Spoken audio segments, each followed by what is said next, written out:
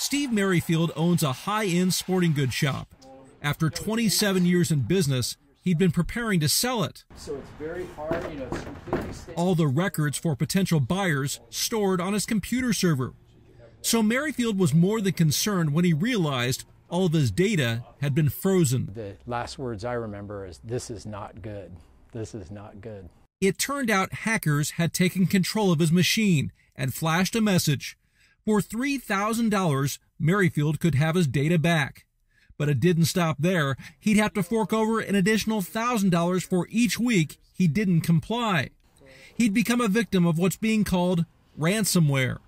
Had you ever heard the term ransomware before? No, no, and I, I can say that it's you know appropriately named. You feel victimized, you feel helpless. Ransomware is becoming so pervasive that it prompted the FBI to put out a warning.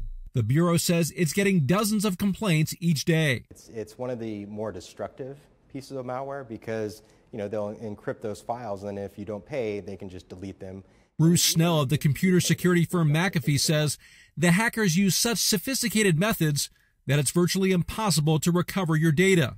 It's believed most are operating overseas, so tracking them down has become futile as well. One reason some apparently fall for the scam is the messages look like they're from the government, accusing users of things like child pornography. It frightens people and, pay, and kind of preys on their, their, uh, their fear.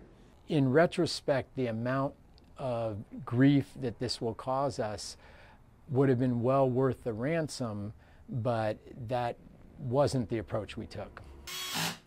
Steve Merrifield never did pay the ransom, nor did he get his data back, even after taking his computer to some of the best experts in the industry. After 10 days of diligence, they uh, regret to inform me that this they cannot recover the data. It's believed that some of these hackers are making anywhere from fifty to sixty thousand dollars a day by targeting certain countries. The FBI says under no circumstances should you ever give them any money, even if you're in a desperate situation. Of course, it's another reminder to always back up your data and be careful what you click on. Dan Simon, CNN, San Francisco.